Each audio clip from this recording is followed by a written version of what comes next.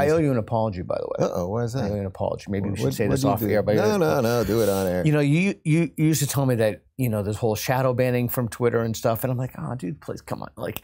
But it turns out it was you were completely right. Like it was you was t- you were telling me that all along, and I'm like, you know, I wasn't thinking it was a conspiracy theory, Yeah. but now you know Jack goes before Congress. He basically lied. he lied. He lied. He lied. I hope, he I hope they get him for perjury.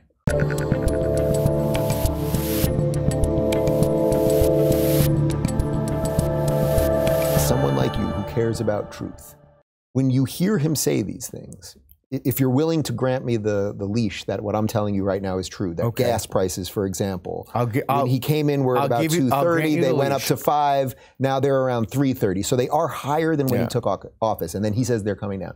It's a complete trick. It's a, just a verbal trick. Now I have no doubt Trump did it. I have no doubt Obama did it and everything else. But I think something's happening now where the lies because of COVID are so everywhere in society and they have been so uh, world. debunked in real time Right. that, that people can't take it anymore. Something feels different about the lies. We can be lied to to a certain degree. And I think we're, we're crossing a threshold with the lies that is going to do something very dangerous. Something like that. So, so what are you asking then? So what I'm asking you is, do- when you when if you can grant me that what I just told you I is true about gas prices and inflation, that it is true. Inflation was here when he got into office. Then it went here. Now it is down a little. So his argument, over eight percent, right? His argument is that it's down, but it's like no, it's not down from when you took over. It's down from the peak of it o- over the summer. Yeah, and the implication of that is it's causal. Like he caused it. Like Right. there's some some policy position or the Fed or something. Which is also dangerous that they think as political beings and as presidents that everything that happens is because of them, which is also nonsensical. Right. But what I'm asking you specifically is in terms of the manipulation of truth that they're all constantly doing, what do you think we do with that? Boy, that's a fantastic question. You know, I think that's one way to bridge the liberal, conservative, Republican, Democrat divide is just stop denying reality. I mean, one of the things that jumped out at me in that talk, and I don't know if you, I think you've had Heather Mac Donald on. Yeah, oh, many show? times. Yeah, Many- yeah, She's yeah, going to yeah. come on in a couple weeks. Yeah, okay. So she's great at this. Matt Thornton has a great book, The Gift of Violence, about this. When he was talking about the police and the role of the police with young black men. Yeah. I mean, th- that was just so contrary to what the data is. Since George Floyd, homicide rates among among black men have gone up 50%. In my own city of Portland, Oregon, they've gone up uh, well over 200%. And that's another story. I'm happy to get into it, but that's another story together. Yeah. Um, death from by young black men, the number one cause of death is other young black men. Yes. And that's the only true for those quote unquote racial groups. And so I think denial of reality and not stating we- we need to be blunt about facts and evidence and not couch them in political terms. Now, when he talked about, you know, whatever his value systems are and how you can solve the problem, that's another thing. But to blame the police for this or to say that the police are causally, then you know, I can't remember exactly how he framed. And that's just not only is that that's just false, that's just complete denial of reality. Well, not only is it a denial of reality, but I think he does it as a bit of cover because he ha- can't lose his radical base. Okay, so that's the That's thing. a political Okay, so now, that's yeah. the thing. You need to signal to your base. And so I think that there. So I lost just just as a side. I lost a thousand followers from my tweets last, Last night? which I thought was kind of funny. I just hope I got you. I hope I got one or two I for you kept when I was kind of making yeah, fun of you. Yeah, no, I just kept Yeah. laughing about it because you know, one, it's good to not be ideal captured by your own audience, you know, sure. au- audience capture.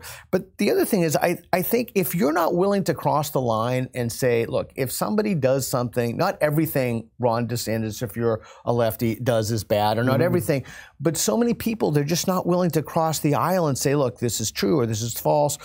Um, and you know, Harris was up there, you know, clapping, you know, ro- robotically clapping at these idiotic things that are clearly divorced from reality. I don't know in a two-party system what the solution to that is, given the penalty for crossing the aisle. Andrew Yang and others have suggested, well, that there is no solution. You have a third party, et cetera. I don't, I don't know. I don't know what the solution is, but I do know that the environment is so toxic right now for even saying you agree, or not even that platforming, going on someone's show. I just talked to uh, Brian Keating this morning. Yeah.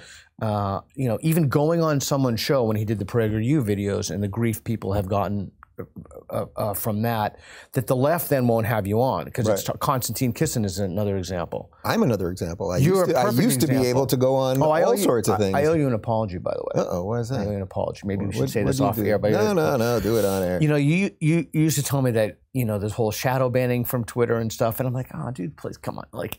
But it turns out it was you were completely right. Like it was you was you were telling me that all along, and I'm like, you know, I wasn't thinking it was a conspiracy theory, Yeah. but now you know Jack goes before Congress. He basically lied. he lied. He lied. He I lied hope, he under go- oath. I hope they get him for perjury. he lied under oath. As He we're lied as, under oath. as we're taping. Well, the thing is, and what his lawyers will get him out of, and why no one ever goes to Oh, 'cause jail. they didn't call it sh- shadow Yes, banning. exactly. They did. Correct. It's, it was a linguistic trick. Okay. They never called it shadow banning. What did they call it? They called it. Uh, what did they call it, guys? it was Oh, um, D something. It was de-escalation. What Some- was it? Yeah, uh, visual filtering Oh, yeah, or okay. contextual So, filtering, something like that. So they were just playing with language constantly. To, Right. to well, that's the other thing with- everybody does is bamboozle everybody through language. The woke people are particularly the woke crowd are particularly good at that. They just bamboozle people.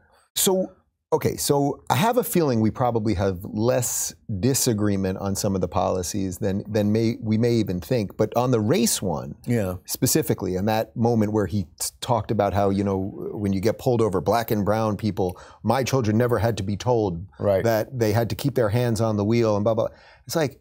I was actually told that. Yeah, that's what I said on my show this too? morning. My dad Yeah. said the first time I went out driving with my dad, we went to uh, HB Thompson Middle School parking Yeah, yeah, lot yeah. to go drive out there It's because they were, you know, it's a big area I could drive. And before I even started doing anything, he said, he said, David, if you ever get pulled over, you keep your hands on. He called you uh, David? Yeah, he called me David. He still calls me David. You keep your hands on the wheel. And the fact that Biden went out of his way to racialize that. Totally. So And also black and brown, the implication being that somehow this Yeah, has something to do with 100 Indian people, and it's just so I don't know if you, you have you had Wilfred Reilly on your show. No, I've, Oh, I've met him a few times. I'll, I'll have him on. The, the I've hate met him a few times. hoax Yeah. and stuff. I mean, fantastic. What what a shame that we have to live in a society where I have to say to you, well, he's a black academician. Like that know, shouldn't have literally anything to do with it. But he has some some Should I tell you about my black friend Larry Elder? I right feel better right see. Right stupid. so we don't that's the other that's the other kind of point of commonality what should we do is we can we should be able to agree that there's a truth of the matter independent of whatever immutable characteristic you possess right so i if we can't agree to that then there's a just a, we're in i mean it really is incommensurable at that Yeah. point but um, the fact that we consistently racialize this is a problem but here's here's my pushback on that because so many and i do that thing for my youtube channel where i go out and i ask random people questions Yeah. uh, and i put them on a line from you know neutral to strongly agree and strongly disagree and they walk to the side What, what do you call that, by the way? spectrum street epistemology yeah, we're going to link to the channel below. So street people can check- epistemology Yeah. from my first book. I was in Yeah. Eastern Europe. Is it better to be ruled? It's better to be ruled by the USA than Russia, or the USA than China. All kinds of questions: homosexuality, abortion, trans, everything. Yeah. But consistently, one of the things that I find in that is when I talk to Black people, not African Americans, but Black people, they are they're pissed, and they're they're deeply they're not even deeply concerned. They're they're worried. They're fed up, and I think we need to have an honest conversation. Like, is that imaginary? Like, is that are those concerns they have? How rooted in reality are they? If you're looking for more honest and thoughtful conversations about academia, check out our Academia playlist. And if you want to watch full interviews on a variety of topics, watch our full episode playlist, all right over here. And to get notified of all future videos, be sure to subscribe and click the notification bell.